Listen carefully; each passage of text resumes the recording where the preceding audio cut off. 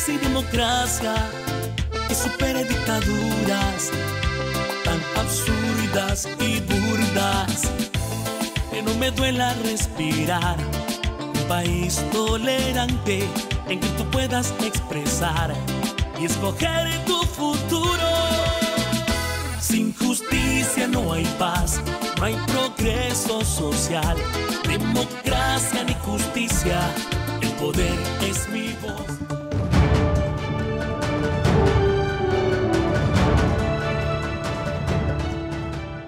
Hola, ¿qué tal? Sean todos ustedes bienvenidos a esta edición de Noticias de Voces en Libertad. Gracias por estarnos acompañando y le invitamos a que continúe con nuestra información en nuestra plataforma www.vocesenlibertad.com y también síganos en nuestras redes sociales. Nos encuentra en Facebook, Twitter, Instagram y nuestro canal de YouTube. Gracias siempre por estar informándose con Voces en Libertad. Hoy les acompaña Lester Arcia, jueves 25 de junio de 2020. De inmediato damos inicio con nuestras informaciones.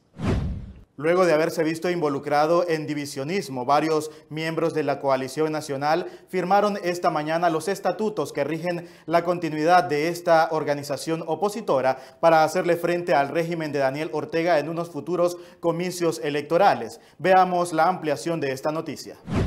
Bueno, muchas gracias por estar con nosotros en esta transmisión especial. Hemos visto a lo largo de estas casi dos horas de programación interrumpida acerca de este día histórico para Nicaragua, donde siete organizaciones han firmado los estatutos de la Gran Coalición Nacional. Fueron siete organizaciones políticas, sociales y civiles quienes dijeron sí a Nicaragua y quienes esta mañana prácticamente se han comprometido con el pueblo de Nicaragua en demandar justicia y democracia en nuestra Nicaragua, pero sobre todo se han comprometido con seguir gestionando y seguir uniendo esfuerzos para la liberación de los presos políticos de nuestro país para hacerle justicia directamente a las madres de abril, a todos esos seres queridos que perdieron a un miembro de su familia, a un hijo, a un padre, a un hermano durante las protestas de abril del 2018 que fueron asesinados prácticamente por la dictadura de Daniel Ortega y Rosario Murillo durante las operaciones limpiezas y también durante los planes de hostigamiento y asedio y persecución. También se han comprometido con todas las personas que están en el exilio acá en Costa Rica, en Panamá, en España, en Estados Unidos, en El Salvador, donde haya un nicaragüense que se ha exiliado. Nuestros aliados de Nicaragua actual prepararon este reporte donde exponen que nicaragüenses que están varados en alta mar exigen al régimen Ortega Murillo que se les permita ingresar al país porque temen que sus familiares estén contagiados por el coronavirus y ellos también temen por sus vidas. Veamos el reporte.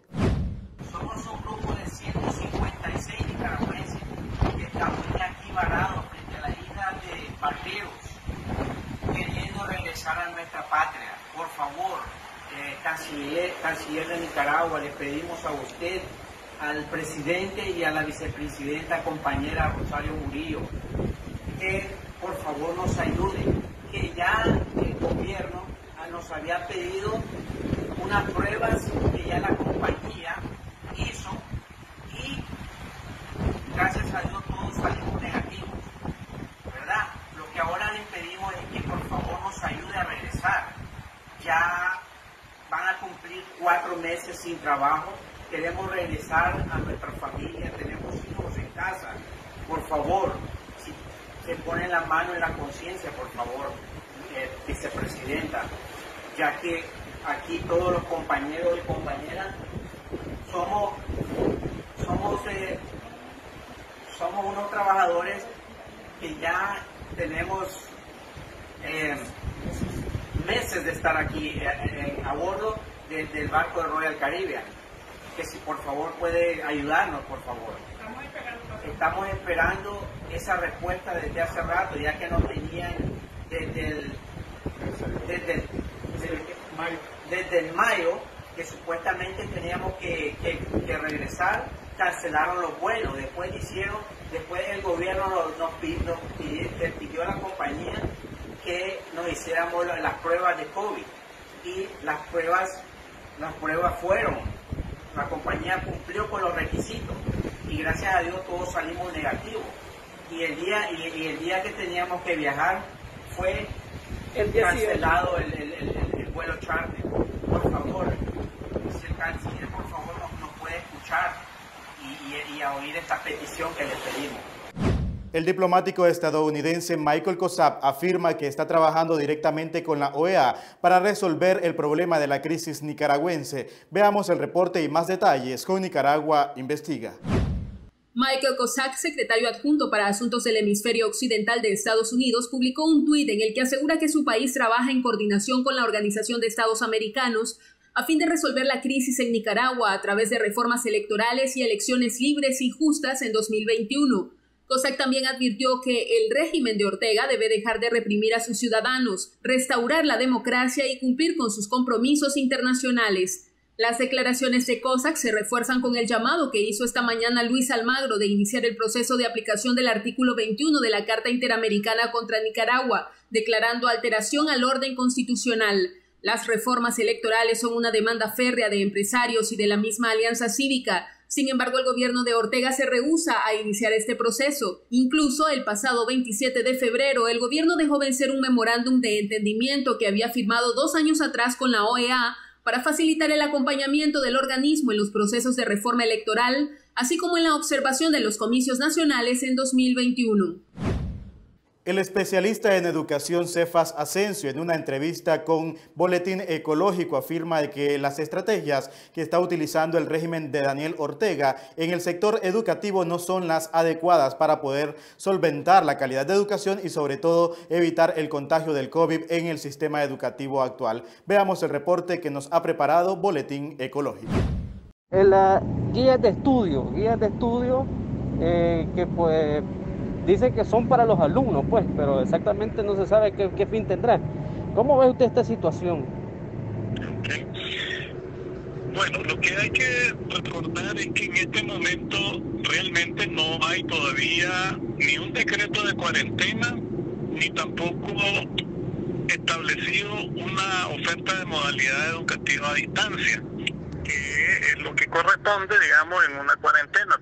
Todos los países en el mundo están acompañando con modalidades de educación a distancia, sea en línea, sea televisión y otras modalidades según las posibilidades que tiene el país. Aquí estamos todavía pensando como que sí, el calendario escolar es el que está dándole la pauta al ciclo de la pandemia. Y definitivamente se está jugando con fuego, pues porque estamos exponiendo a la comunidad educativa a un alto riesgo de contagio. Y hablando de comunidad educativa no me refiero solo a los estudiantes, maestros, el personal docente, pues, o personal directivo de la escuela, sino también a su familia. Recordemos que los niños, niñas, jóvenes, adolescentes son portadores asintomáticos y llevan el virus a su familia y eso es un alto riesgo. Eso en primer lugar. En segundo lugar, la modalidad a distancia es algo más que entregar guías programáticas. Eh, hay que recordar ahorita que la experiencia que se está teniendo con las guías programáticas es que se recarga a los padres de familia, ¿verdad?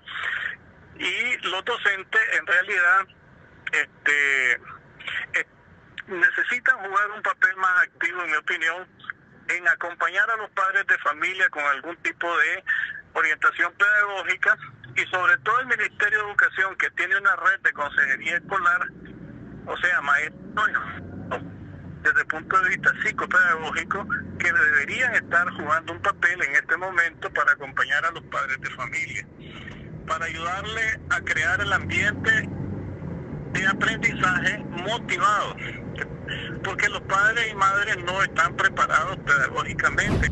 Gracias por continuarse informando con el noticiero Voces en Libertad. En esta ocasión nos trasladamos hasta el occidente del país con Radio Darío, quienes explican el porqué de las sanciones a algunos funcionarios del régimen de Daniel Ortega por parte de Suiza. Veamos.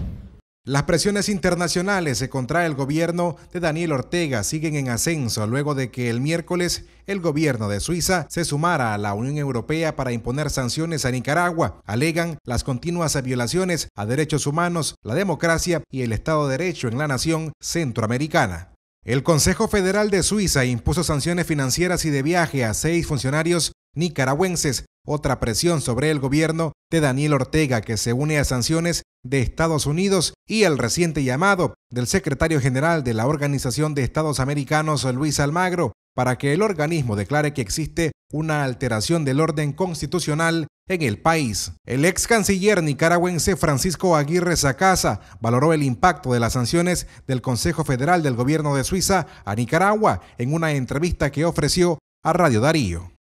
Suiza no es miembro oficial de la Unión Europea. Entonces ellos lo que han hecho esencialmente es hacer propio la medida, las sanciones que ya aprobó la Unión Europea, pero muchos de ellos, de los que están en la argolla, sí tienen interés en visitar a los países del viejo continente y a lo mejor tienen algunos de ellos activos, sobre todo en países como Suiza, que como vos sabés tienen un sistema financiero que es considerado entre los más eh, importantes del mundo y en donde existen muchas cuentas de números, Francisco. Los sancionados por Suiza alcanzan a la exministra de Salud Sonia Castro, Néstor Moncada Lau, asesor en seguridad, y a los comisionados generales Francisco Díaz, Ramón Avellán, Luis Pérez Olivas y Justo Pastor Urbina. Suiza llamó al gobierno a respetar y cumplir los acuerdos firmados en marzo del año 2019 con la oposición y que se realice una verdadera reforma electoral. En vista de sus 40 años de compromiso con el desarrollo de Nicaragua, Suiza está lista para apoyar los esfuerzos encaminados a una solución pacífica del conflicto sociopolítico, expone la nota que informa de dichas sanciones que entraron en vigor. De Radio Darío para Voces en Libertad, les informó Francisco Torres Tapia. En el siguiente reporte de 100% Noticias se contabiliza que existen 72 personas que han fallecido del personal de salud nicaragüense. Veamos la ampliación en este reporte. Hasta el 17 de junio, el Observatorio Nacional ha reportado 614 trabajadores del área de la salud con, con sintomatología asociada o presuntiva de COVID-19, de todos los departamentos y de todas las regiones del país es decir, nuestro territorio está totalmente cubierto ahora por la pandemia.